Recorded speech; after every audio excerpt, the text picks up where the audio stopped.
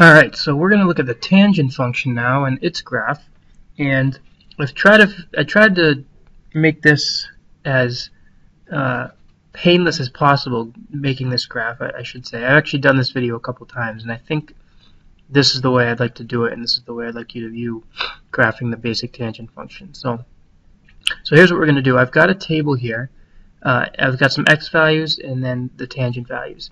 Now, what I want to draw your attention to is I chose to the x values to do the tangent graph starting at negative pi over 2 and then going up to pi over 2, which is different from when we did the sine and the cosine, uh, the sine, cosine, and the cosecant and secant graph. For instance, here's cosecant. Notice the ones I, I used started at 0 and ended at 2 pi, right? And these pi over 4s, uh, you know, the pi over 4, 3 pi over 4, when we graphed sine and cosine, we started to learn that like we didn't really need those values to get the real shape. We just needed these good five ones, uh, the, the five important ones, 0, pi over 2, pi, 3 pi over 2, and 2 pi. But with tangent, it's going to be easier, and you'll, you'll see why, to start at negative pi over 2, put 0 in the middle, end at pi over 2, and then have these, to actually have these ones in between, the negative pi over 4 and the pi over 4. Okay, so let's evaluate them. And what uh, what I did here was draw in the unit circle and the reason I did that was because I wanted to remind you that the tangent of an angle is y over x, the y coordinate over the x coordinate in the unit circle, which is nice because we can get three of these values really easily, right? The tangent of negative pi over 2, so remember negative pi over 2 would mean you start here and you rotate down. So this is negative pi over 2 right here. That would bring you, that would be a rotation negative pi over 2. So y over x would be negative 1 over 0, but that's just undefined.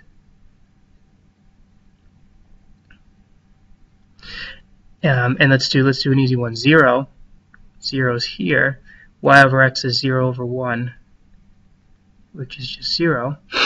And at pi over 2, pi over 2 would be here. Tangent is 1 over 0 again, which is undefined. And how about in between? Well, pi over 4, the tangent of pi over 4 would be, I'm going to try to get a, a straight drawing tool here if I can. I may not be able to. No, I can. Here we go. A straight drawing tool. So pi over 4 would mean we've, oops, would mean we rotated 45 degrees so we're here. And I want everyone to think what that the tangent of that value would be. Now, if you if you can't do it based on the unit circle, feel free to go out to the side and draw, you know, draw in. You know, that's 45. That would be 45. That would be 1, 1, root 2. You would see that the tangent is, uh, the tangent of 45 is 1. Okay so that would be a 1. And negative pi over 4, well, you'd be drawing the same, I mean, you'd be, you'd be drawing the same sort of triangle, but you'd be in quadrant 4. So that would be down here. And you can probably guess by symmetry what the tangent of that would be. Okay, if you can't get it from the unit circle,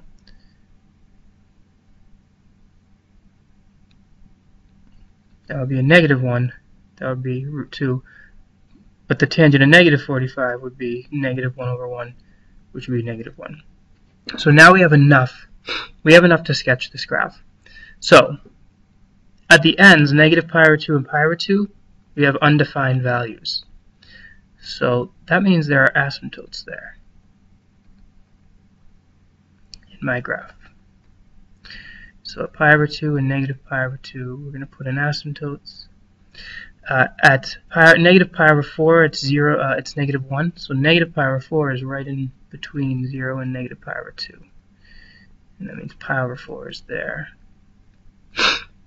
And I get a negative 1 here, and a 1 here, and 0, 0 is my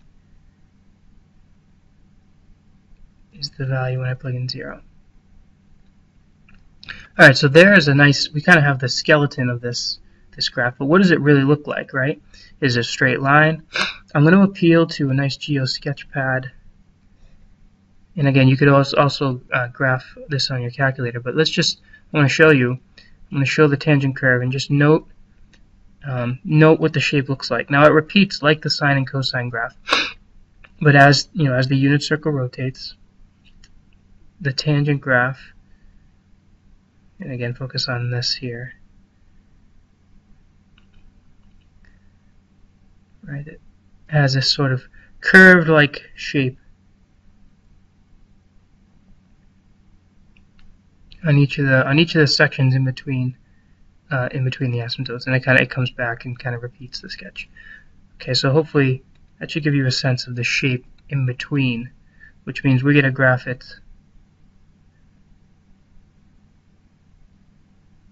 looking like that.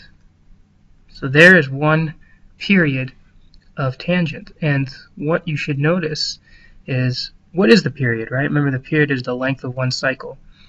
Well, from asymptote to asymptote, right? That that is one cycle. Because if I if I resketch this, mean, if I continue to sketch more periods, what am I going to do? Well, I have an asymptote here, and if we kind of keep the pattern going, after the asymptote, I'm at negative one at the at the multiple of pi over four, and then I'm at zero, and then one, and then another asymptote.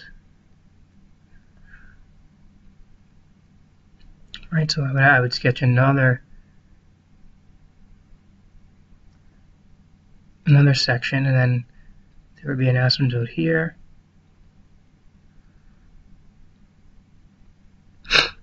and again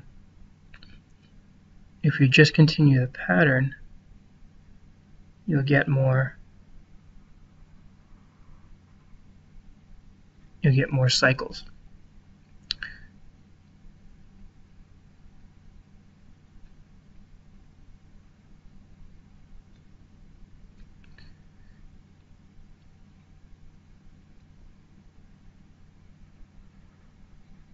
But the point is, what so we, we sketched a bunch of of uh, peer, uh, bunch of cycles of tangent. So what's the period? Pick any two points that correspond. So maybe like this one. Well, let's do this one. This one here in the middle. When does that point happen again? When does that middle point happen again? Here. And so that's a distance of pi. So the period of tangent is pi. And so now let's talk about the domain. Like in secant and cosecant, we're going to express the domain as being everywhere except where the asymptotes are. So it's everywhere, but x cannot equal where the asymptotes are. So there's an asymptote at pi over 2, and then how much are they going up by? Well, to, between to get to the next asymptote, we have to go this distance, whatever this distance is. Well, to get from pi over 2 to 3 pi over 2, that's a distance of pi. So if we keep adding multiples of pi, we'll get to new asymptotes right? If you add, if you start at pi over 2 and add 1 pi, you get here. If you add 2 pi's, you'll get to the next asymptote. If you add uh, negative pi, you'll get to this asymptote, okay? The range is negative infinity to infinity because on each on each section in between the asymptotes, tangent goes up to positive and negative infinity values of y. In the x-intercepts, we can describe these. There's one here at 0,